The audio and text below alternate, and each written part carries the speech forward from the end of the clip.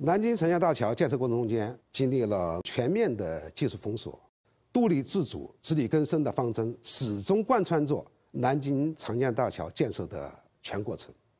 首先，南京桥桥址的水深和地质条件的复杂程度都超过了武汉桥，基础工程的难度非常大。施工中最大的困难是基础的水下作业。当时国际上普遍认为。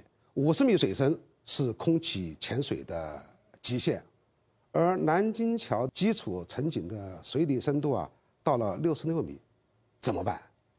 一方面，在海军第六研究所的协助下，研究提出了水面吸氧减压法的这么一种潜水方案，但实际上最关键的，还在于我们的潜水工人们发扬勇于牺牲的这种奉献精神。冒着生命危险，用普通的设备，创造了世界潜水史上的奇迹。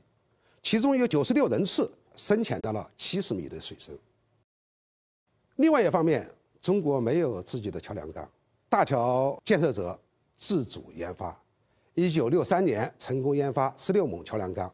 桥梁钢的研发成功和深水基础技术的自主探索，为中国大规模自主建设大型桥梁。创造了条件。